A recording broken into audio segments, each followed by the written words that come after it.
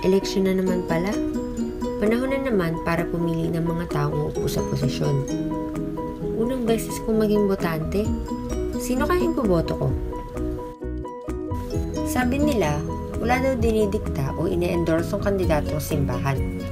Bawat kandidato daw, binibigyan ng pantay na karapatan at oportunidad na patunayan ang kakayahan nila sa pamumuno. Tayo naman mga botante, ay kanya-kanyang responsibilidad na suriin at tasahing mabuti ang kakayahan ng bawat kandidato.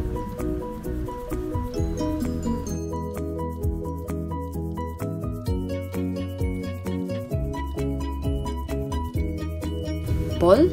Survey? Hindi yan ang sukatan ng pagiging karapat-dapat ng isang kandidato. Dapat hindi nakabase ang desisyon natin sa opinion ng ibang tao kasi iba't iba tayo ng pananaw at ng mga pinahahalagahan sa buhay. Kung walang dinidikta yung simbahan at hindi tayo dapat dumedepende sa mga survey, paano nga ba natin malalaman kung sinong karapat dapat iboto? Bilang katoliko, dapat palagi natin ginagawang modelo si Kristo, lalo na sa pagpili ng kandidato. Dapat hanapin natin sa isang leader yung mga katangian tulad ng kabutihan, pagmamalasakit sa kapwa, at pamumuhay ng naaayon sa salita ng Diyos. Kilalanin natin ang mabuti ang bawat kandidato nang higit pa sa pangalan at reputasyon nila sa lipunan. Alamin natin yung mga plataforma nila, mga batas na naipatupad, mga pinahahalagahan, at mga opinion sa iba't ibang usaping panlipunan. Kailangan yung iboboto natin may respeto at pagkilala sa buhay at dignidad ng bawat tao. Dapat, hindi sila pabor sa pagpapaligal ng pagpatay, tulad ng euthanasia, pagpapalaglag at parusang kamatayan. Dapat may paninindigan sa pagpuksa ng mga krimen at sa pangangalaga sa pantay na karapatan ng bawat mamamayan.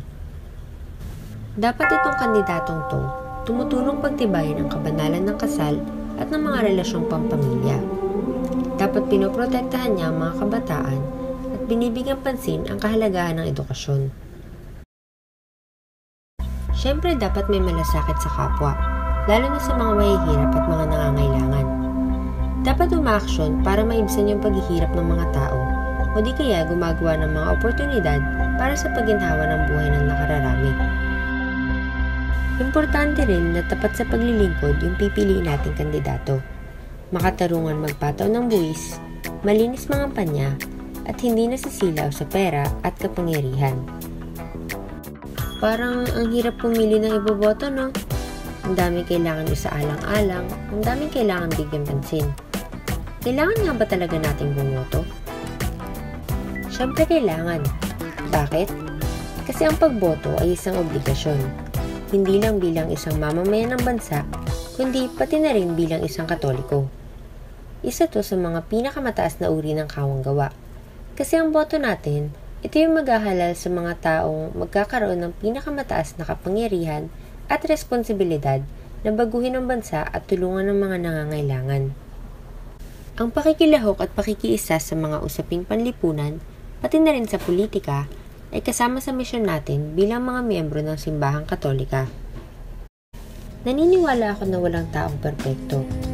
Malamang, wala sa mga kandidato ngayon ang makakabuo ng lahat ng katangiang hinahanap ko. Pero naniniwala din ako na sa pagkabay ng mga turo ng simbahang katolika at sa grasyang ipinagkakalob ng Diyos, malalaman ko kung sino yung pinakakarapat dapat iboto sa darating na eleksyon. Ikaw, Sino ang boboto mo?